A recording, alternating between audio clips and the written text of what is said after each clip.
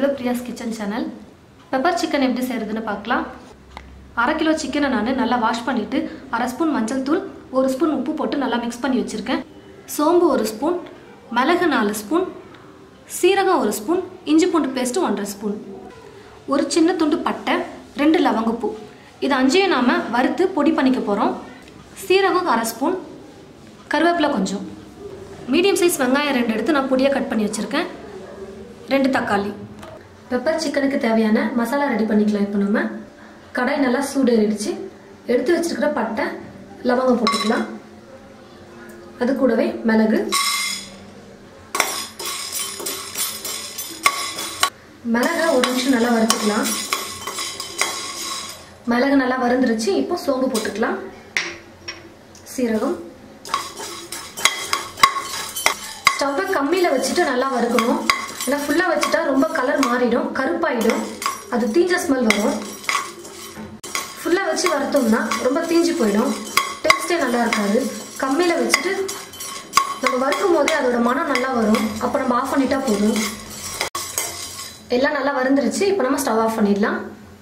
நல்லா ஆறுனதும் நம்ம மிக்சியில் போட்டு பொடி பண்ணிக்கலாம்.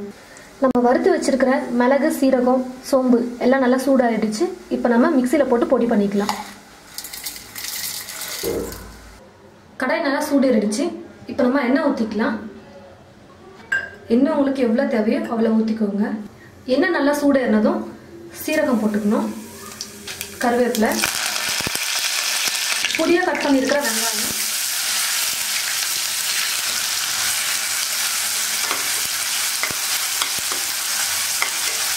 வெங்காயம் வதங்குறதுக்கு கொஞ்சமாக உப்பு போட்டுக்கலாம். இஞ்சி பூண்டு பேஸ்ட் போட்டுக்கலாம்.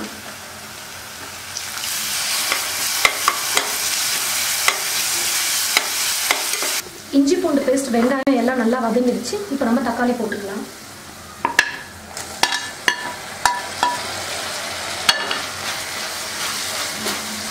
ஃப்ரை பண்ணுறதுக்கெல்லாம் வெங்காயம் நல்லா வதங்கிச்சுன்னா ரொம்ப சூப்பராக இருக்கும் சாப்பிட்றதுக்கு. தக்காளி போட்டும் நல்லா வதங்கிடுச்சு. நம்ம எடுத்துருக்கிற சிக்கனை போட்டுக்கலாம். சிக்கனை நல்லா வாஷ் பண்ணிவிட்டு அதில் இருக்கிற தண்ணியெல்லாம் நல்லா புழிஞ்சிட்டு அதுக்கப்புறம் அரை ஸ்பூன் மஞ்சள் தூள் ஒரு ஸ்பூன் உப்பு போட்டு நல்லா மிக்ஸ் பண்ணி ஒரு பத்து நிமிஷம் வச்சுட்டேன். நான் நல்லா மிக்ஸ் பண்ணிட்டேன். இப்போ ஒரு பிளேட் போட்டு மூடிக்கலாம். அஞ்சு நிமிஷம் நல்லா வேகட்டும். அப்பப்போ கலந்து விட்டுக்கலாம். சிக்கன் அஞ்சு நிமிஷம் நல்லா குக் ஆகிடுச்சு பாருங்கள் நான் தண்ணியெல்லாம் எதுவுமே ஆட் பண்ணலை. சிக்கனுக்கு ஊற்றின எண்ணெய் அப்புறம் தண்ணி எல்லாமே பாருங்கள் ஒரு கிரேவி மாதிரி வந்திருக்கு. மிக்சியில் பொடி பண்ணி வச்சுருக்கிற தூளை போட்டுக்கலாம். ஏற்கனவே சிக்கனில் நம்ம உப்பு போட்டிருக்கோம்.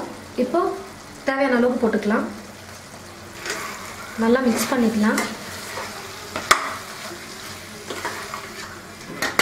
நமக்கு காரமே வெறும் மிளகுத்தூள் மட்டும்தான். அதனால் மிளகுத்தூள் நிறைய ஆட் பண்ணிக்கோங்க. இப்போ தான் நல்லா காரமாக சூப்பராக இருக்கும் சாப்பிட்றதுக்கு. கொஞ்சமாக தண்ணி நம்ம ஆட் பண்ணிக்கலாம். சும்மா லைட்டாக தண்ணி ஊற்றினா போதும். பிளேட் போட்டு மூடிடலாம். அப்பப்போ வந்து பிளேட் எடுத்துட்டு நல்லா கிளறி விட்டுருங்க அடிப்பிடிக்காமல் இருக்கும். ஒரு பத்து நிமிஷம் குக் ஆனால் போதும். சிக்கன் வெந்துடும் சிக்கன் நல்லா பத்து நிமிஷம் வெந்துருச்சு. பாருங்கள் எவ்வளோ சூப்பராக வந்திருக்கு. பெப்பர் சிக்கன் இப்போ நம்ம ஸ்டவ் ஆஃப் பண்ணிடலாம். பெப்பர் சிக்கனை இது போல் செஞ்சு பாருங்கள் செஞ்சு பார்த்துட்டு எப்படி இருக்குன்னு கமெண்ட் பாக்ஸில் கமெண்ட் பண்ணுங்கள் மற்றவங்களும் பார்க்கணும்னு நினச்சிங்கன்னா ஷேர் பண்ணுங்கள் எங்கள் வீடியோவை உடனுக்குடன் பார்க்கணும்னு நினச்சிங்கன்னா மறக்காமல் செல்வ பிரியாஸ் கிச்சன் சேனலை சப்ஸ்கிரைப் பண்ணுங்கள் தேங்க்யூ